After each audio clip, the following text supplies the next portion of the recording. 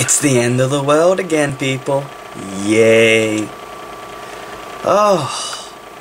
It seems like we get past one end of the world prediction, only to have to deal with another one like two, three months later. What's up, people?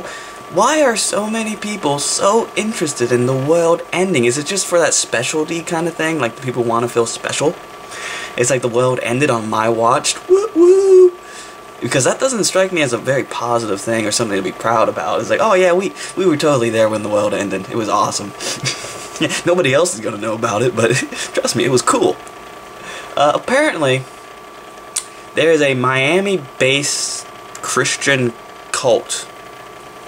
Uh, and it, I'm going to call it a cult because apparently its founder, uh, somebody, it's like the Jesus or something weird like that.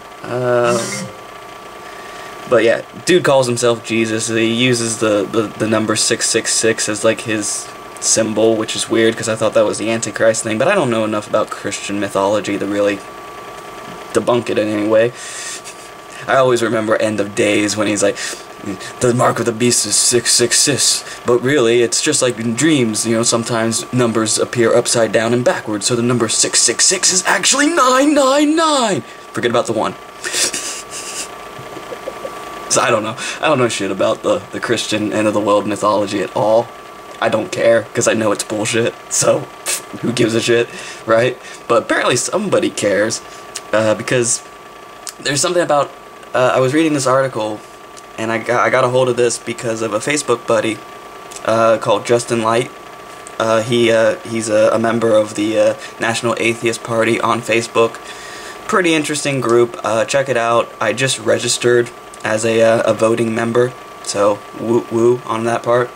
So I figured I'd give him a little bit of a, a promotion. So anyone who who hasn't yet heard about the the National Atheist Party, give them give them a look see. I'll, I'll leave a link to both their website and their Facebook uh, group in the description box.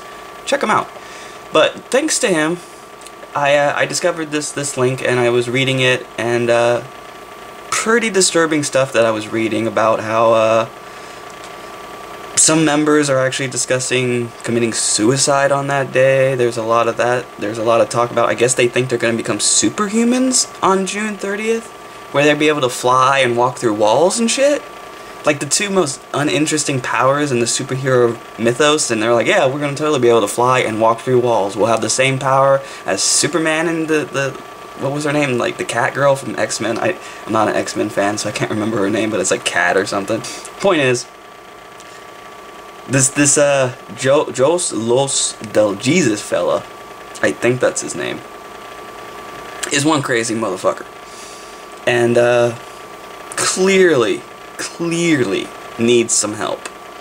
Uh, but what's scary to me is I was reading the comments after the article, and there were so many comments uh, from people talking about how stupid the members of this cult are, and how they deserve to die or whatever, or and get tricked and this and that and blah blah blah. And I got kind of disturbed by that because I always felt like, um, I mean, I can understand hating on this Jesus dude uh, because he's clearly a prick. I mean, everything that I've read about this guy so far, I, I don't think he really believes this bullshit. I think he sees this as a chance to get make a lot of money, and so far he is making a ton of money. I mean, people are donating lots and lots of money to this guy. Uh, asking for salvation, this and that. You know, desperate people. A lot of them, I'm sure, are probably in really hard financial times, especially in this this day and age. I mean, I'm sure that there's lots of reasons why these people are clinging to that desperate hope that this guy is is selling them. Um, and that's how I feel about a lot of people who give you know money to churches or, or give to uh, you know our alternative medicine or any of those things. Um, it's always I always look at those people. It's just they're just people looking for hope. Okay. Camera still works. Take two. Sorry about that, people. I had a, a piece of paper lying on my uh, my tripod, and I went to grab it for some reason, thinking that I could do that without fucking anything up, and sure enough, knocked everything over. Okay. So luckily the camera is still intact, so we're good. Alright, so take two. I decided to put a shirt on while I was uh, ranting and raving about how stupid I was. Um, okay, so what was I talking about? Uh, oh yeah, the um, end of the world on, on, on June 30th, and uh, and how atheists tend to uh, attack the victims of, of these kind of frauds, and why I dislike it. And the reason I really dislike it is I always feel like um, the reason most people do it isn't like because they really believe any of that stuff. They just they're doing it because they they want to feel a sense of superiority to other people. Because we all do. I think it's a natural natural human kind of emotion to want to feel special, right?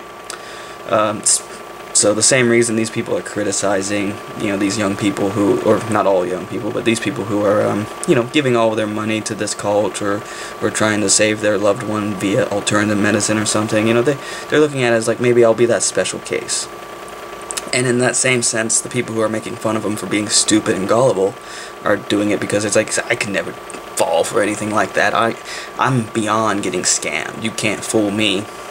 And I guess the reason I don't like that mentality is I'm always thinking about, um, I don't know how many of you guys know who James the Amazing Randi is. Um, if you don't know who he is, you know, YouTube him. He's a phenomenal, phenomenal, great person. Kind of looks like Santa Claus, but he's awesome. He's better than Santa Claus. He's real. but uh, there's a story he likes to tell in a lot of his lectures, and I've seen a lot of his lectures, and I know he tells this story more than a few times. Uh, I, I, think I've seen at least three lectures where he's uh, talked about this story about the um, the scientist, this uh, PhD, who got fooled and tricked by some some guy in um, in the Middle East by a simple pack of matches. And he was ready to call up James Randi. He's like, "Hey man, I got that million dollars in the bank. I've got a guy here. We can't explain how he's doing it." And um, and it's an interesting story, and I think it has an interesting moral lesson to it, which is nobody is above getting punked. I think is really what I'm trying to say. And uh, when I watch and read people's comments about how idiotic these people are for doing this, I can't agree with that. I really can't. I don't. I mean, I don't like blaming the victim.